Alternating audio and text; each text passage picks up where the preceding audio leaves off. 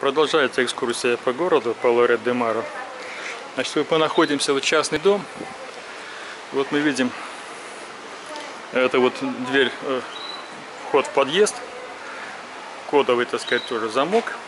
Но вот что нам интересно, значит, кроме того, что дверь тут такая значит, красивая, деревянная, стеклянная.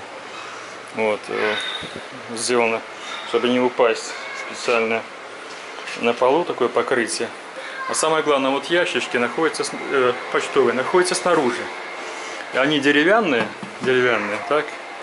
Они как у нас металлические за дверью за той. То есть почтальону всегда нужно звонить в дверь, просить, чтобы тебе открыли. А здесь, пожалуйста, почтальон спокойно проходит, бросает тебе почту, ящик, ящичек и пошел дальше. Вот, вот уровень доверия, уровень сервиса. Вот ребята тут очень много, очень много ездят на мотоциклах, на мопедах. Тут очень развито это. Там Шура меня ожидает. Это у нас прогулка по городу сейчас идет.